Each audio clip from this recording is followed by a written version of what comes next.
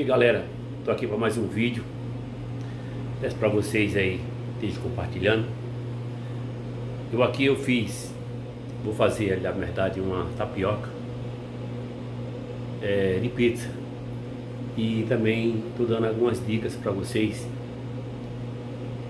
para que vocês melhorem a coordenação de fazer uma tapioca, tá? Tem coordenação também de fazer tapioca, tá gente? Pra ficar legal. Então é por isso que eu vou passar alguma coisa para vocês aqui. Se vocês gostarem, eu peço para vocês compartilhem, se inscrevam no meu canal, tá? E para estar tá me ajudando também, dá um like, compartilha aí no grupo de vocês, para que a gente possa estar, tá, quem sabe, aí atingindo logo logo um milhão, mil milhão de visualizações, tá bem? Então, bom, olha aí gente, tá vendo aí ó, meu fogo Pego naquele mais espaçoso aqui, que é mais alargado nesse. Eu ponho a minha frigideira para saber se ela tá boa. Para mim não perder muito tempo, ó. Minha massinha já tá peneirada, já tem sal a gosto também. Se eu quiser fazer doce, eu só acrescento só o, o só o, o, leite condensado e já era. Então, ó, para saber se tá boa, observa que ela vai pular, tá pulando igual pipoquinha, tá vendo? Esse é o ponto certo da frigideira. Eu ponho aqui, ó, tá vendo? Eu ponho ela aqui, dou um tempinho.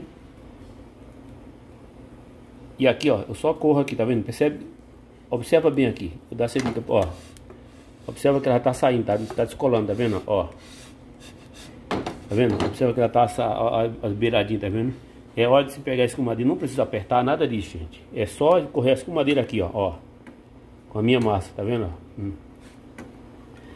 Essa daqui eu vou fazer ela, não vou fazer só de queijo não tá? Eu vou fazer uma de pizza, vocês vão ver que legal. Só que para isso, eu, eu vou pedir para vocês aí fazer um exercício. Tá vendo? Sem muita demora. Vem aqui, tá vendo? Observa que eu viro bem fácil, tá vendo aqui, ó?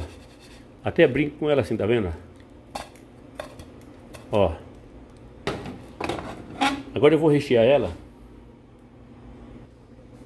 Recheei ela com tomate, tá vendo? Como vocês veem aqui. Aqui tá o meu queijo já também raladinho, tá vendo? Isso aqui também, gente, é o queijo de Muriaé, tá, ó. Quem me vende aqui fala que é de Muriaé. E eu acredito que seja, que é muito gostoso esse queijo, hein? Tá vendo? Espalha um pouquinho aqui em cima.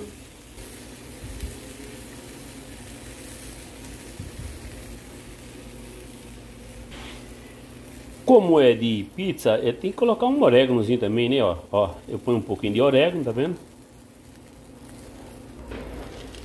E aqui é um temperinho, eu chamo ele Masterchef. O pessoal gosta demais. Isso aqui é muito gostoso, sabe? Então, observam bem aqui agora, tá vendo? Ó. Eu quero que vocês aprendam a fazer isso, tá vendo? Veja que eu virei sem com madeira, tá vendo? Na prática, entendeu?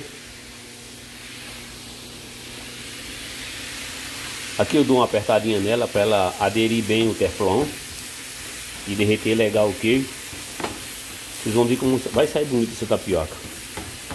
Vocês me perdoem aí se não ficou legal esse vídeo, mas é porque eu estou gravando, fazendo só com uma mão só.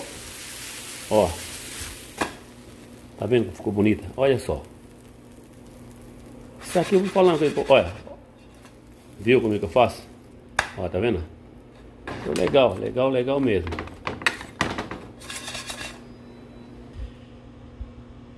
Então, gente, para você chegar a esse nível, eu, eu vou passar um exercício para vocês. Vocês podem achar que é mancada minha, mas mancada ou sei lá o que, eu tô de maneira, de maneira alguma.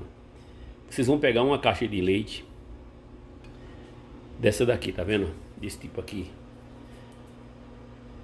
E vão simplesmente fazer um exercício aí para ficar legal. O exercício que eu dou para vocês, primeiramente é esse, ó. Tá vendo? Ó. Fazer assim, não precisa jogar lá em cima. Observa que ela já tá virando aqui rapidinho. Após vocês treinarem bastante, dificulta um pouco. Põe ela assim. Tá vendo? Ó.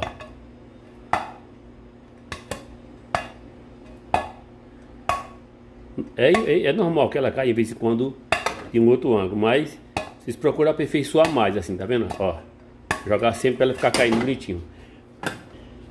Após esse exercício que eu passei para vocês, vocês dificultem um pouco mais ainda. Com a escumadeira, tá vendo? Vocês vêm aqui, ó, tá vendo? É óbvio que eu não vou fazer em cima do fogão para não bater nas panelas lá, né? Vai que a gente é falho, vai cair, mas dá uma olhada.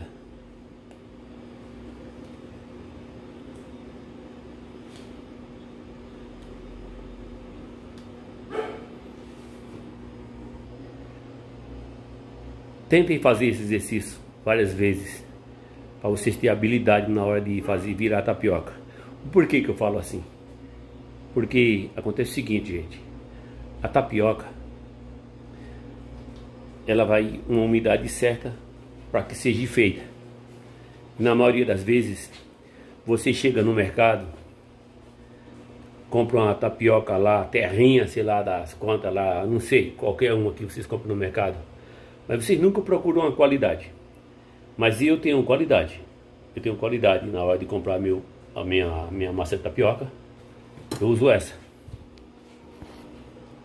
Pioneira. Tá vendo? Pioneira. Essa é uma das massas melhor que tem. É um pouquinho mais cara. É por isso que mercados, é, Casa do Norte, dificilmente vai querer pagar mais caro para ter um produto bom na mão.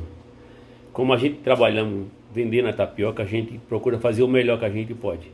E diante a, a umidade que ela recebe para nós fazermos a tapioca, o que, que acontece? Você põe na frigideira, aderiu, aderiu legal, você já vai virar ela de imediato, para não ter muito perda de tempo.